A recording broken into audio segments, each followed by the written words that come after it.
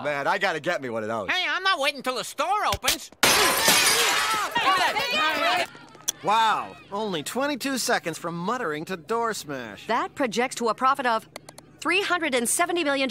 I'd still sleep a little easier if I saw some trampling. Ow, ow, ow, hey, ow. Now, why would you wear cleats to a store?